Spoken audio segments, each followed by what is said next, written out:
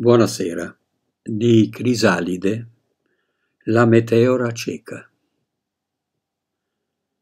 Immersa nel buio cosmico, ancora inconsapevole delle mie sembianze, forse tristi note di una melodia dimenticata, o strido d'aquila che cerca il suo nido, vagavo, cieca meteora, fra i detriti di una tempesta che non aveva fine.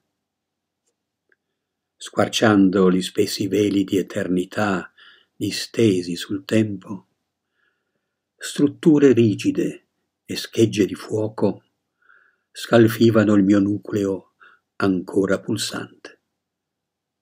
Unico compagno, un dolore da domare.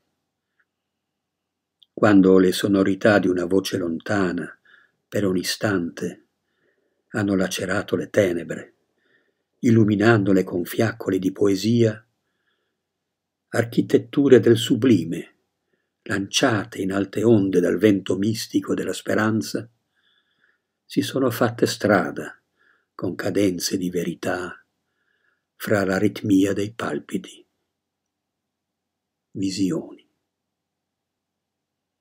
Sul litorale di altre orbite il tocco familiare di uno spirito affine, vecchia donna, bambino, amante che cerca un ritmo fertile, sgretolano la pietra, rinasco nel movimento irregolare della vita.